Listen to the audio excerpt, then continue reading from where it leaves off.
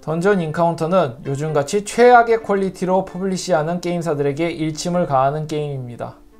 이렇게 단순해도 속만 알차 있다면 너무나도 재밌게 즐길 수 있다는 교훈 말입니다. 정말 오랜만에 50시간 순삭했습니다. 결론부터 이야기하자면 당연히 취향은 타겠지만 갓게임입니다. 턴제 RPG 괜찮고 dungeon crawler 좋아하시면 무조건 하세요. 탐험 좋아하시고 리얼한 생존 요소 좋아하시고 challenge 하는 거 좋아하시고 호기심 왕성하신 분도 꼭 하세요. 한글화가 안 되어서 하기 어렵다고요? 정말 영어가 안 된다 해도 skill과 상태 이상 등 아주 소수의 단어만 찾아서 파악하면 되니까 하세요. 스토리가 없어 스토리 읽을 일도 없습니다. 이 게임은 굉장히 단순합니다. 꼭 triple A 게임을 만들기 위한 컨셉 단계를 그냥 게임으로 만든 느낌입니다. 음악마저 유명한 클래식 음악 8곡을 전자음악으로 편곡하고 두 곡 작곡한 것이 아마 전부로 파악됩니다. 프로토타입 수준의 게임도 아니고 그냥 날것 그 자체입니다.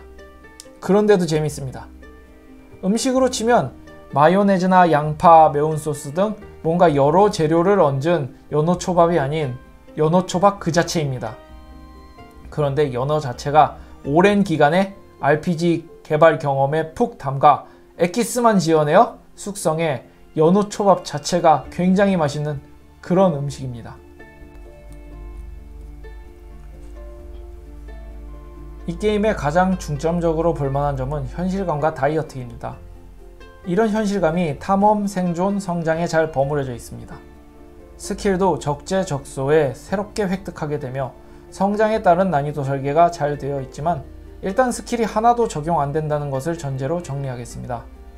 다이어트라고 한 것은 정말 모든 요소들을 단순하고 간략하게 만들어 놨습니다. 어차피 map만 3D 모델링을 한 원거리 view이고 그 외의 것들은 도트 그래픽보다 더 가벼운 2D라 최적화 걱정할 필요 없는데도 불구하고 가볍게 만들었습니다. 그리고 모든 시스템을 이해하기 정말 쉽게 만들었습니다. 하물며 마법 이름도 4개밖에 없고 numbering이 높아질수록 센 마법으로 설정해 놨습니다. 탐험은 어디가 다음 층으로 이어지는지 모르는 map을 헤매입니다. 다행인 점은 대각선 공중뷰여서 주변의 타일들이 보이고 한 번 탐험한 타일은 불이 켜져서 왔던 길인지 아닌지 헤매일 일은 없지만 과거의 던전 크롤러 게임처럼 전체 맵이나 소형 맵도 제공되지 않습니다. 그래도 발견한 특정 위치들의 좌표는 기록되어 나중에 활용할 수 있습니다. 밑으로 내려가면 내려갈수록 전투의 난이도만 올라가는 것이 아니라 탐험도 어려워집니다. 몬스터 위치, 함정 위치를 파악하는 skill을 끄면 타일 한 칸 한 칸 전진하는 것이 긴장될 정도로 dungeon의 무서움을 잘 구현했습니다. 현실에서 dungeon에 들어가면 light novel 고블린 슬레이어나 light novel 던전에서 만남을 추구하면 안 되는 걸까 심장 재액 편처럼 정말 무서운 곳일 것이라는 것을 다시 한번 느꼈습니다. 생존 파트는 RPG인데도 roguelike 게임 같습니다. 파티가 전멸하면 플레이 가능한 캐릭터들을 가지고 새로 파티를 짜서 내려가야 하기 때문입니다. 전멸한 파티 이외의 캐릭터들을 키워놓지 않았다면 2회차 같은 기분입니다. 부활이 가능하지만 던전 저 밑에 죽어있기에 살리러 가야 합니다. 가끔 현재 탐험하는 층에서 나타날 클래스가 아닌 몬스터가 나타나기도 하는데 그런 몬스터와 조우하게 되면 뒤도 안 돌아보고 태각 버튼만 연타하게 됩니다. 그만큼 전멸이 두렵습니다. 하지만 이것도 성장을 하면 할수록 새롭게 생기는 탐험 스킬들을 사용하여 비교적 쉽게 전멸한 파티원들을 구할 수 있습니다. 미층에 타일이 없는 구멍에 빠지거나 상태 이상 중 하나에 걸리면 파티원들이 모두 던전 0층에서 99층 사이 어딘가로 사라져 버립니다. 이것도 roguelike 같은 느낌입니다. 지금까지 키운 파티원을 찾으러 가야 하는데 GPS도 없고 나침반 같은 skill이 XYZ 좌표를 통틀어 헤매고 있는 캐릭터와 현재 타일이 몇 칸 떨어져 있는지만 알려주니 찾기가 쉽지 않습니다. 게임을 진행하다 보면 내가 딜이 세지고 화려한 스킬을 구사하게 되는 것도 아닌데 어느덧 돌아보면 성장해 있습니다. 무기 마법이 세져서 딜이 높아지고 HP가 높아지는 성장은 어느 RPG에서나 볼 수 있듯이 나타나지만 이 게임에서 두드러지는 것은 탐험 파트의 성장입니다. 다른 게임들도 비공정이나 텔레포트 같이 레벨이 높아짐에 따라 이동과 탐험이 편해지는 요소가 이 게임에서는 정말 반갑습니다.